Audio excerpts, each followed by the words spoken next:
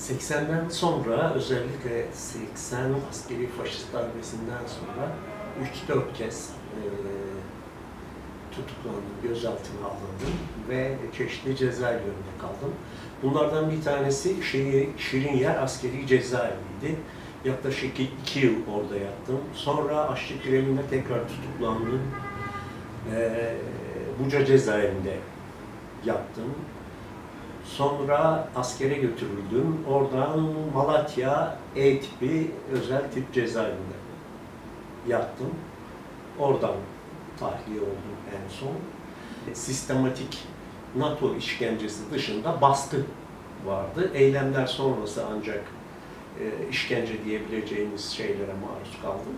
E, daha çok e, 12 Eylül sürecindeki işkence emniyet müdürlüklerinde olan ve kendilerini İngiltere'de MI5, MI6'da eğitim görerek bu iş için hazırlandığını söyleyen polisler tarafından işkenceye maruz kaldık.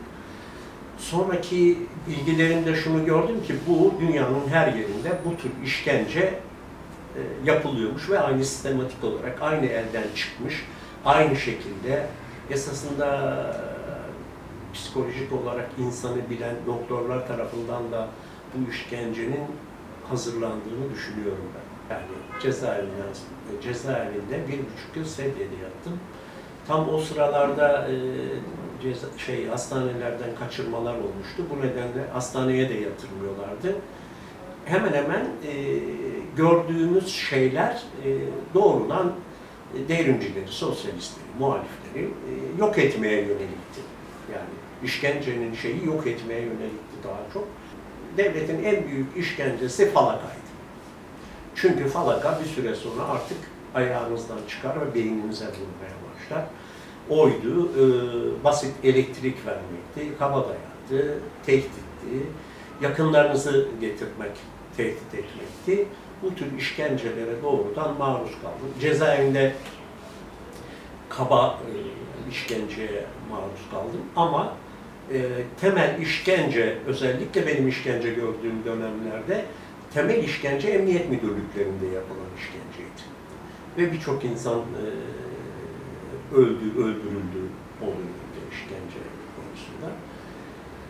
Tabii dediğim gibi büyük bir travmadır bu toplum açısından. Bugün toplumun kendini toparlayamamasının da en büyük nedenlerinden bir tanesi bence 12 Eylül askeri faşist darbesinin toplumda yarattığı e, psikolojik o işkence baskısıdır.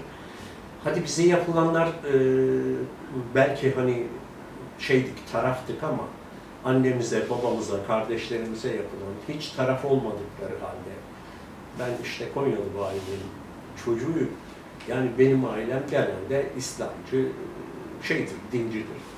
E, buna rağmen çok büyük dışlanma ve baskı gördüler devlet tarafından.